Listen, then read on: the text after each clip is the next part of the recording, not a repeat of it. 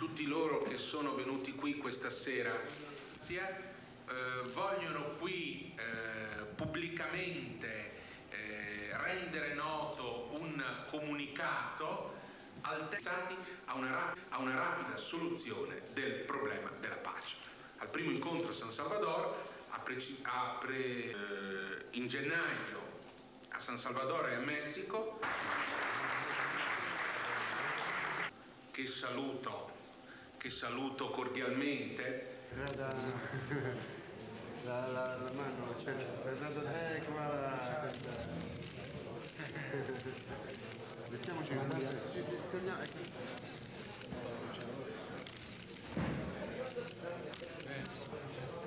Basta, tutti quelli. Dove?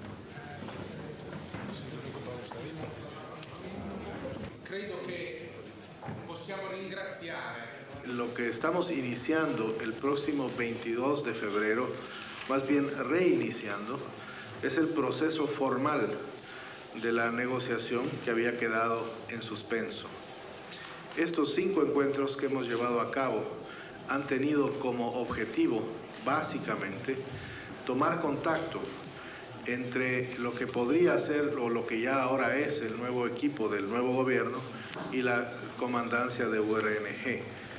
El objetivo primordial, como dice el comunicado, es básicamente el poder conocernos, tomar confianza y a través de esto favorecer el clima de la negociación. Mi sembra è anche un giorno in cui il governo No estamos sustituyendo nada, simplemente este ha sido, como dice el comunicado, una, una serie de encuentros orientados a crear un mejor clima, a favorecer la mesa de negociación, nunca a sustituirla. perché io credo che oggi rappresenti un giorno di speranza El alto el fuego requiere de una negociación muy compleja.